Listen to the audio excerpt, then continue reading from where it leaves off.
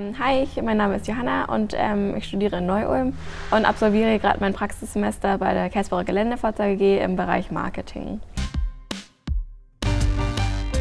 Mein Aufgabenbereich ist relativ breit gefächert. Also meine Hauptaufgabe ist die Betreuung der einzelnen ähm, Facebook-Kanäle, ähm, zum Beispiel Content-Erstellung oder ähm, Beantwortung von Fra Anfragen.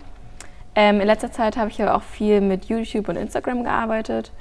Und sonst ähm, mache ich viele, viele kleine Aufgaben, also kleinere Dokumente gestalten, zum Beispiel jetzt letztens gerade eine Verpackung, dann schneide ich Videos oder ähm, sowas in die Richtung. Ähm, außerdem habe ich ein ähm, paar Projekte angestoßen und darf sie auch am Ende bis, also bis zum Ende selber betreuen.